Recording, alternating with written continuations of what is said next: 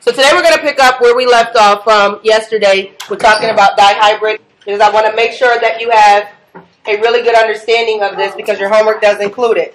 So let's get our minds right and let's get back to Look this. I found. Find it in my basket. Hold on, because you really need this. All right, so yesterday we talked about dihybrid. Dihybrid means. Two. Raji, I'm sorry, Raji, I can't hear you because I got a lot of audience talking. Go ahead again. The cross between two organisms involving two different traits. Two different traits. Good. So in this instance, we're talking about a guinea pig with rough um, coat, um, is smooth over, a, a- excuse me, dominant over a smooth coat, and a black fur is dominant over a white fur. Parent one has the genotype dominant R, dominant R, dominant B, recessive B. What is parent one's phenotype? Raise your hand and tell me. I know we did this yesterday, but Simon, tell me. Rough coat with black fur. Okay? Parent two has dominant R, recessive R, dominant B, recessive B. Chappie. Um, rough coat and black fur. Rough coat with black fur. What I want you to notice is both parents look alike, but they have totally different genotypes. Understanding? Okay. So now we're going to show a cross between the parents um, that have this, and we're going to give the genotypes. We're going to break this down. But the way that this happens, I'm going to move this little thing out the way. So the first thing we need to do, because we have to fill out these boxes, and we do not fill out these boxes by just taking these and putting these here. These are all going to be something that is paired. So what happens is we take one of the parents, and there's two ways we can do it. Over here, I'm going to give you the two ways, and then you decide which way is better for you. But look at this first before you do anything. So this is figuring out this new Punnett square of dihybrid. So you take the parent's genotype, okay? Excuse me. And we kind of make a smiley face with it. What we do is we do, or actually, I would like to call it a donut, which is what I'm bringing you on Friday. All right. So we take this and we link it to that. And this is how, well, not Friday, Thursday. And we have dominant R, recessive R. Does everyone see that? No. That's Oh, you connected. I'm telling you what we have to do. We're going to take the first one and we link it to the last one, okay? And then we take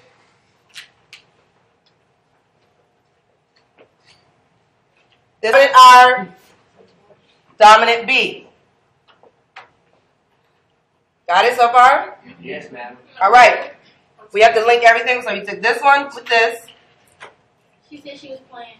Oh, okay. You was playing with it. No, I'm talking about her. Come on, stay with me.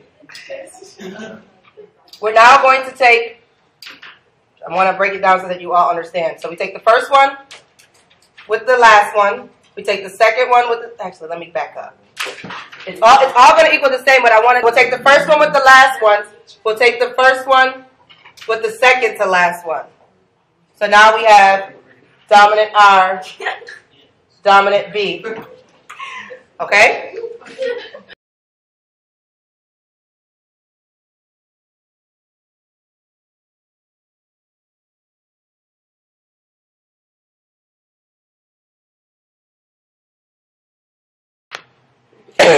Excuse me. 10 seconds.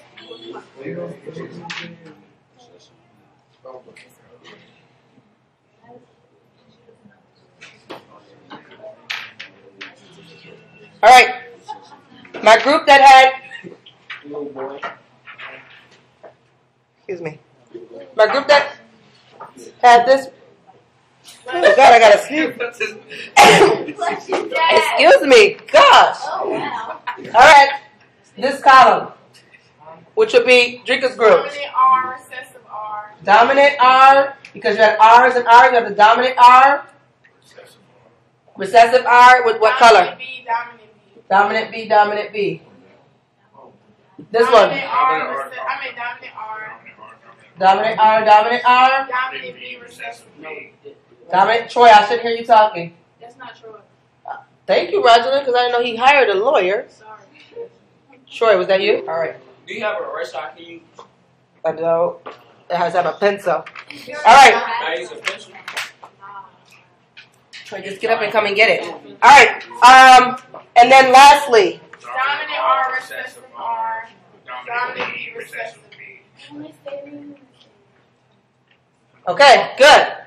For my group that had this row, which is 80s babies group, Uh, we, we got um. Dominant R, um, Chappie. Dominant R. Recessive R, Dominant B. Recessive B. dominant B, recessive B. Drake, I know that's you What I do? Dominant, talking. I didn't even talk. Be quiet. We got dominant R, dominant R. Uh huh. Recessive B, recessive B. Okay. Oh, then we got uh, dominant R recessive R. And recessive B, recessive B. Okay. This group, we have this right. Give me these two. Starting with this one. Dominant R, recessive R. Dominant R. Oh, oh, made row too big. Recessive R. Dominant B, recessive B. Okay. This one. Make sure you're filling yours in if you haven't already. Uh, dominant R, recessive R, and dominant B, dominant B. All right. My next group back there. Hernandez. Dominant R, dominant R. Dominant R. Dominant R. Recessive B, recessive B. Recessive B. Recessive B. Second one. Somebody else. Brandon, Lotte, or Shauna. Dominant R, dominant R. Uh huh. Uh, dominant B, recessive B. Very good. Right here. Shh. This group, uh, Rogers group, Madison's group, JD. Chappie, come sit right here. Dominant R, recessive R, Recessive B, recessive B. okay, Dominant R, recessive R. and then very good. Anyone have any questions about this? All right, then we move down because we have to look at the different possibilities. So this is a lot going on in here. That means they have a lot of possibilities of their children coming out a whole bunch of ways. Remember, the purpose of a Punnett square, Troy told us, is to look at the chance or the probability of offspring. So therefore, what we what the easiest way to do it is just take the first one and write down that as it because with some will repeat. So we'll just go through and when it repeats, we'll just put a tally mark next to the one that is repeating. All right. So here, this one did not repeat.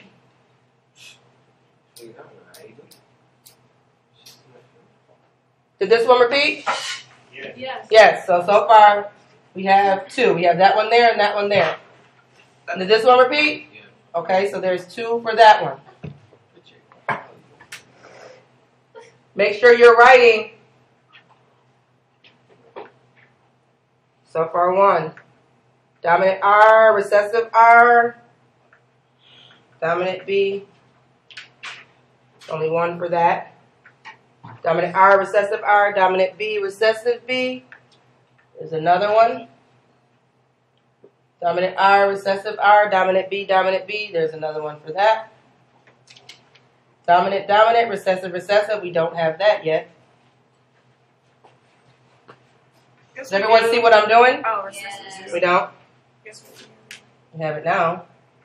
Dominant R, dominant R, dominant B, recessive B. There it is. We have that. Dominant R, dominant R, recessive, recessive. I'm here in case you don't know where I am. Dominant R, dominant R, recess, dominant B, recessive B. I'm in the last row. Dominant R, recessive R, recessive B, recessive We B. don't have that. We don't have that. That extra talking in the back stop. Dominant R, recessive R, dominant B, recessive B. Dominant R, recessive R, recessive B, recessive B.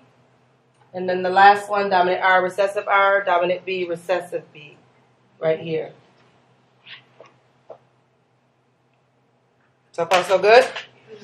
All right. So then, what's the phenotype for dominant R, dominant R, recessive B, recessive B? I'm, I'm sorry, dominant B, recessive B. What's the phenotype for this? Rough coat, black fur.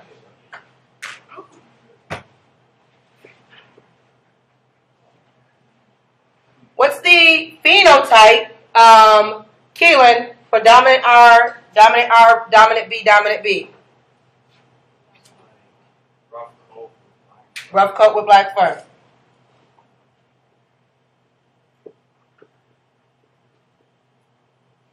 The phenotype for dominant R, recessive R, dominant B, recessive B? Kylie. Rough coat, black fur. Rough coat, black fur. What about the phenotype for dominant R, recessive R, dominant B, dominant B? Jenny, Um, or this fourth one we wrote. rough coat and black fur. Rough coat, black fur. What about for dominant R, dominant R, recessive B, recessive B, A's baby? Hey. Dominant R, dominant R, recessive B, recessive B. Rough coat, fur. White fur. fur. Rough coat, white fur. And what about dominant R, recessive R, recessive B, recessive B, Shauna?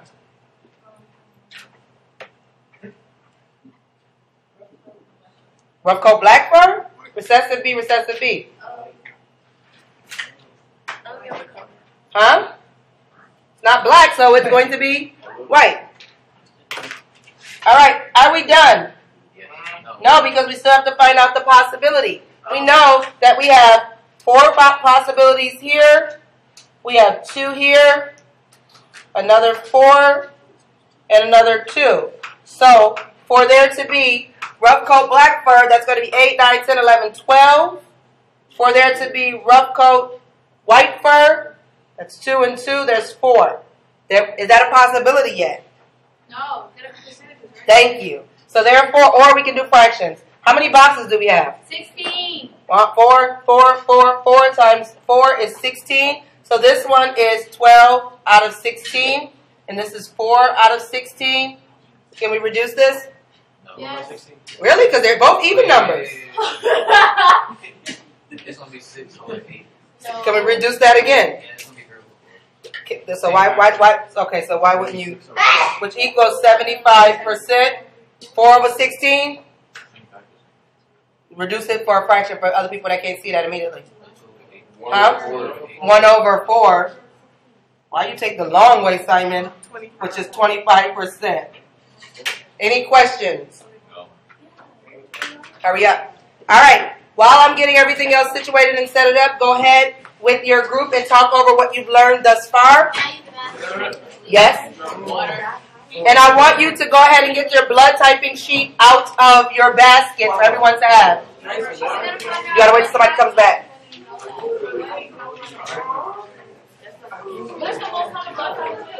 We'll talk about that in a second. It's supposed, it's supposed to be one of those sheets in there, right? Huh? It's supposed to be one of those sheets in there, right? It's supposed to be these. They're right there on the table. Oh. They're right there on the table. Stop trying to be slick. You are.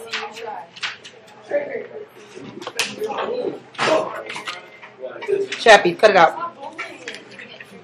Ten. Nine. Eight. Come on, get it together. Can I work with you this weekend? I don't have a partner. This weekend, please. I don't have no true friends.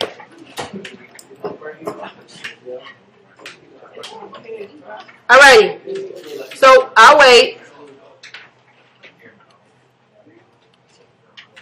What we're going to do first, right now, is we are going to play a little game within your group. You are going to be considered a doctor um, wh- who has to actually do blood transfusions. Leave that alone, please. Leave that alone, please. I'm it back. Now, in doing this, before we start taking our notes for blood types, I want you to think about some information.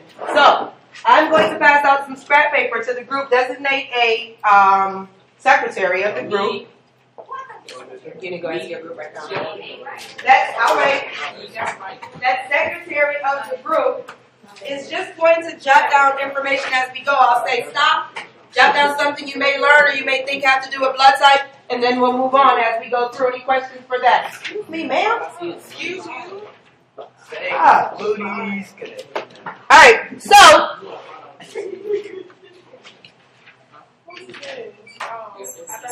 what is happening right now is you are going to be handling a car crash victim, and it says, so I can zoom it out. Hi, and welcome to the emergency department of this hospital. Your challenge is to save three patients who have been in a car accident and need blood transfusion. It is your job to blood type each patient and give them the correct blood. Try to avoid making mistakes or your patient condition will deteriorate. If you make a mistake, you will get, get all five out of blood. I'm sorry, you will get all five out of five blood drops in the end. But if you make a mistake that's detrimental, your patient will Die. Die. All right, so here are your three patients. Now, you don't currently know much about blood typing as of yet. So your job as we go through is you're going to be jotting down some information on your scrap, not your note sheet. You have a secretary. You're going to take a moment. You're going to talk some things over. You're going to jot some things down on your sheet. So when we come together and take our notes, we can have a better understanding of blood typings. That makes sense so far? So we're going to start with patient one.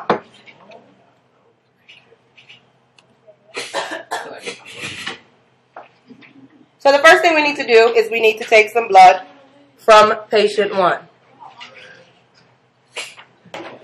Now, before we drop this blood into these three different containers, all right, what we're going to do is I want you to put your tray that you have in your basket in front of you. Put it on top of the white sheet of paper because we have to do we do have to see um, what's going on in that container. Let's do that quickly. I put a white sheet of paper in the basket. Put your tray on top of that. Now, as we simulate it up here on the screen, you're also going to have an opportunity to simulate it on your um, in your lab procedures there. What you have with you is you have three different blood types. Type O, you have type A, and you have type B.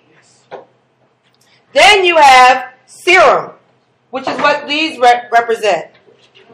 Because what happens is the first thing that happens is the blood types, your serum is made up of your platelets and your white blood cells. Your white blood cells is responsible for what? Who knows?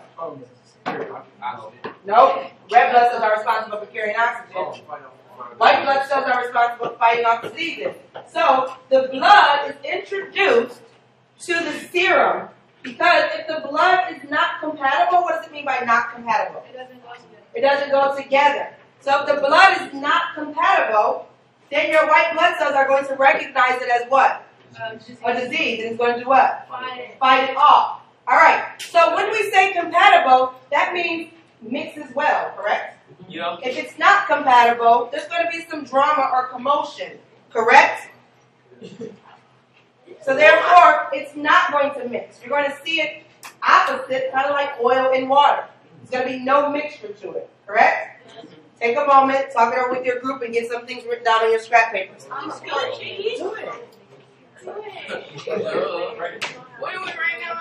Anything that you can remember from what I just said, This is for blood type. simulate it.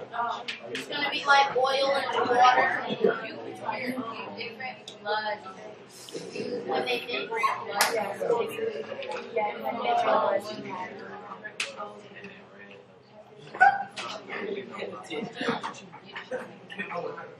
All right, stop. In one of your containers, before we move on to this still, you're kind of in training for your doctor. In one of your containers, the smaller container, so container one, what I want you to do is I want you to go ahead and take Jordan's, actually not Jordan, I apologize, take Sasha's blood serum. Where's Sasha at? Oh, right here. and put her in container one. I know. I like this right. Just um four drops. That should be no. Four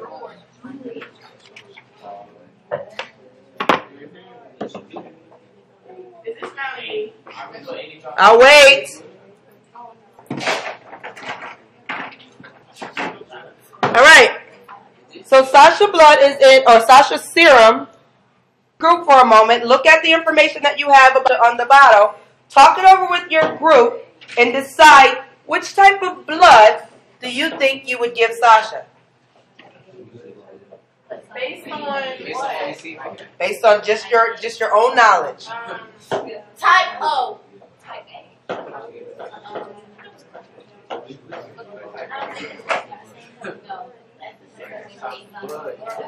All right, stop.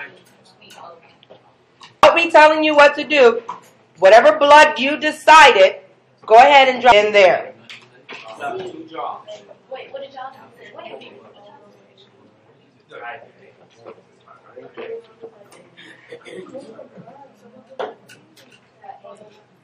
in the same thing as. In the same as Sasha's.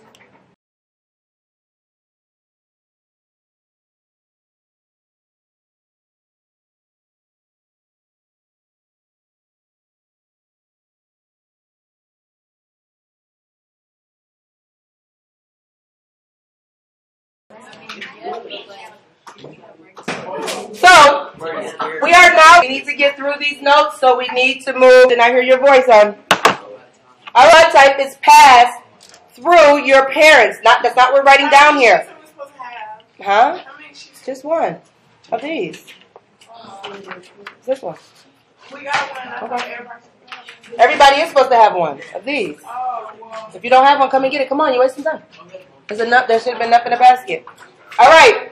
So, um, human blood type is passed from your. You saw the different bags of possible blood.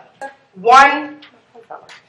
Was there just one letter for the blood always? No. No, you could be either type A or AB. Yes. Come get it. So therefore, the fact that you could have two lo- capital letters tells us what about blood types? What about that that allele pair that we learned from our notes on yesterday? Oh, both are dominant. So that would be what? If they both show up, that would be what? No. Think about our roses. Oh, co-dominant. Co what? Dominant. Co-dominant. Oh, So human blood type is passed through co-dominance. So we get that moving next to you. My phone died. All right? That means two dominant can both be shown.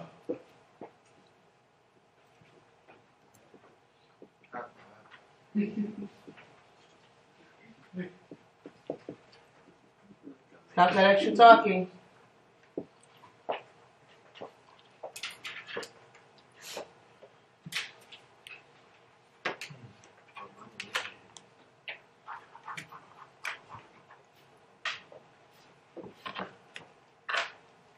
Any questions so far?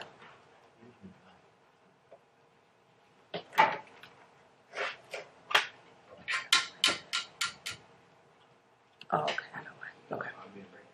All right. So, what are the four possible phenotypes for the blood? A, A, No. A, A, B. A. A. B. B. B, A B. A, B, O. and O. These are the physical, Simon. There's no other word for it. So, you either type A, type B, type AB, or type O. Your parents come together and it mixes. Now, there are some ones that are dom- more dominant over others. A and B are more dominant. O is recessive. What that means that if there's an A or a B present, just like we do in regular traits, okay? Is universal. Meaning what? Anybody in Yep. can mix with any other type.